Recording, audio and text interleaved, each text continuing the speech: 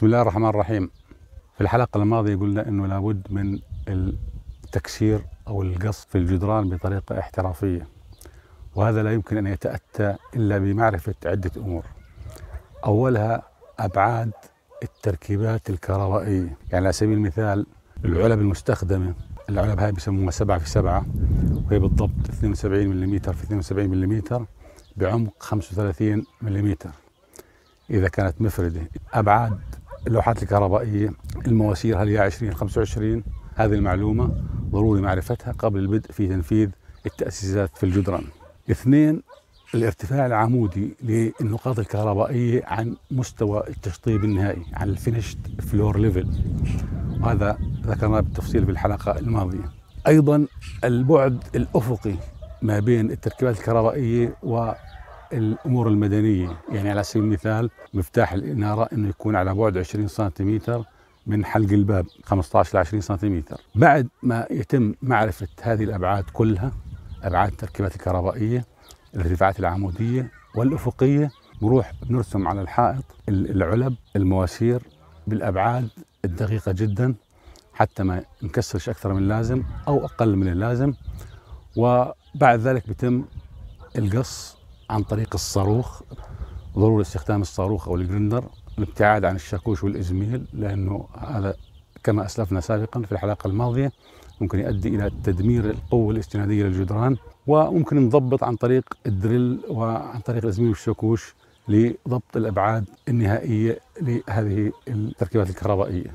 من الأمور التي لابد من الانتباه لها أثناء التنفيذ للتأسيسات في الجدران مواسير المياه. إذا كان في عندنا على سبيل المثال مواسير مياه مارة في الجدران يجب أنه نتأكد أنه هذه المواسير جاية تحت المواسير الكهربائية.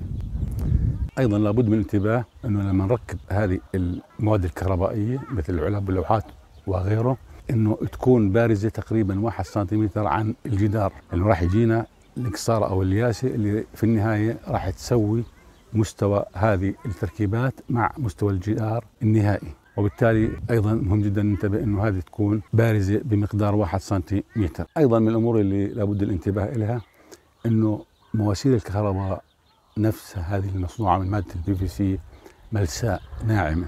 وبالتالي إذا وضعناها داخل الجدار وحطينا عليها المونه الإسمنتية بعد فترة ممكن يصير في شروخ في الجدران نتيجة ضغط هذه المواسير على الجدران لأنها مش ملتصقة بالمونه الإسمنتية. وبالتالي يفضل إنه يتم استخدام مادة بيسموها مادة ربط وبيتم وضعها بما يسمى بالطرطشه لجعل السطح الخارجي لها سطح خشن ليتم تماسكه مع المونة الإسمنتية بشكل جيد وبالتالي بنتلافى الشروخ أو الكراكس اللي ممكن تحدث مستقبلا. أيضا من الأمور المهمة جدا الابتعاد عن منطقة التقاء العمود بالجدار وهذه عادة بيتم علاجها من قبل المهندس المدني بأنه بيتم وضع شبك معدني بيسموه شبك البقلاوة على شكل بقلاوة جاي لأنه معاملة تمدد الجدار غير عن الإسمنت العمود الإسمنتي ولذلك يفضل أن نبتعد عن هاي المنطقة. هاي المنطقة ضعيفة معرضة مستقبلا للتصدعات والكراكس. أيضا من الأمور المهمة أنه نحاول قدر الإمكان المواسير اللي نازلة في الجدران تكون عمودية وبالتالي بعد انتهاء البناء يمكن الاستدلال على أماكن هاي المواسير. من معروف يعني إنه في ماسورة نازلة بشكل عمودي عند النقاط الكهربائية سواء كانت مفتاح إنارة أو سوكت أو غيره.